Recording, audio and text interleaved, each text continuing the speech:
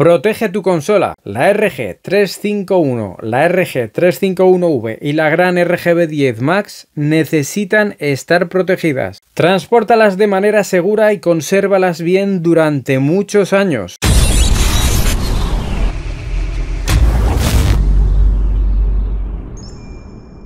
Tenemos una o varias consolas a las que jugamos mucho y lógicamente no queremos que les pase nada malo.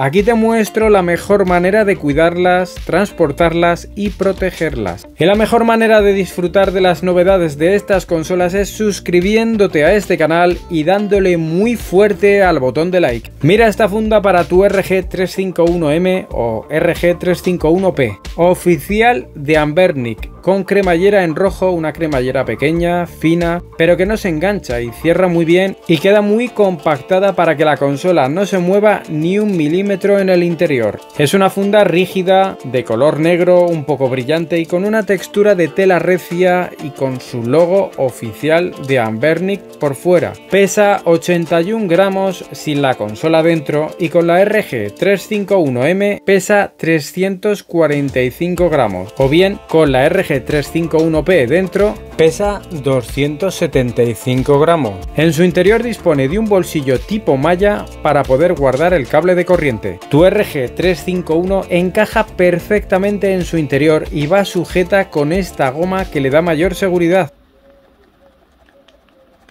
Y por fuera podemos ver esta pequeña cinta para poder llevarla en la mano de manera más segura. Y si tienes una V, una RG351V, también dispones de esta funda oficial que es igual que la que acabas de ver, con el mismo acabado, la misma rigidez, la misma cremallera, su malla interior para que guardes el cable de carga y pesa 72 gramos estando vacía y 299 gramos con la consola en su interior. Una buena funda con su logo, su cremallera en rojo, su goma interna, su cinta externa y su tamaño perfecto para que encaje de manera perfecta sin moverse en su interior. Tienes la RGB 10 Max, nuestra butanera favorita no puede quedarse sin protección. Aquí está su funda oficial de Poukidi. Tiene un exterior muy fino de tacto suave simulando que es fibra de carbono, aunque a mí personalmente me parece un exterior muy delicado y bastante flojo. No lleva ningún logo exterior de ninguna marca ni nada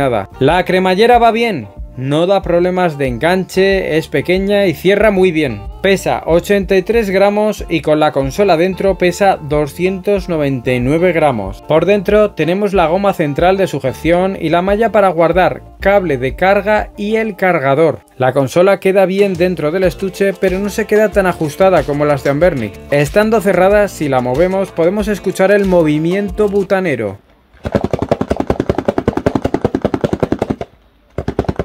Es un estuche rígido pero menos que los dos anteriores. En cambio por dentro es algo más espacioso que los de Ambernic y nos permite guardar el cable de carga y también el cargador sin ningún problema a la hora de cerrarla. No dispone de una cinta externa que nos permita un agarre más seguro en la mano. Así en general es de peor calidad que las de Ambernic, pero es barata, un poco más espaciosa por dentro y nos sirve bien. Cumple su misión de transportar y proteger nuestra Max con su cable y cargador en el interior. Ya sabéis que como siempre os dejo los enlaces directos de compra en la descripción de este vídeo. Así que cuidad y mimad vuestras maquinicas, que sus dineros valen, después de jugar a la funda por si acaso. Nos vemos en el próximo retro programa. Hasta pronto.